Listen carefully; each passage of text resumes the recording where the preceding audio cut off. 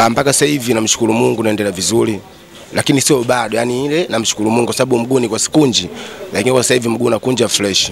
Ina maana katika hizi siku za mbeleni hapa nitaendelea vizuri, kwa sababu natumia tumia vidonge ni madawa mm.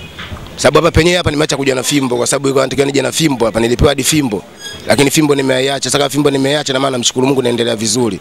Magazeti aga tumeshayazoea, magazeti aga toa tu habari kabla hajamfikia mtu mwenyewe, lakini mimi ndo najijua mwili wangu uko vipi, lakini kwa sasa hivi Yaani kwa sasa hivi namshukuru Mungu. Ah, kwa sababu ule ule ni mpira.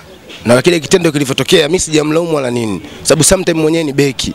Maana kitendo kama kile huwezi jua labda kama ningekitoa mimi. Sasa katika masuala ya mpira kama kitendo kama kile kina- kinatokea na mimi kitendo kilivyotokea sijavunjika lakini sema nilipata maumivu kidogo, lakini mimi sijampa lawama kivo wala nini. Ila najua katika upande wa mashabiki wanakuwa katika masuala ya mpira hawaelewi kiundani zaidi.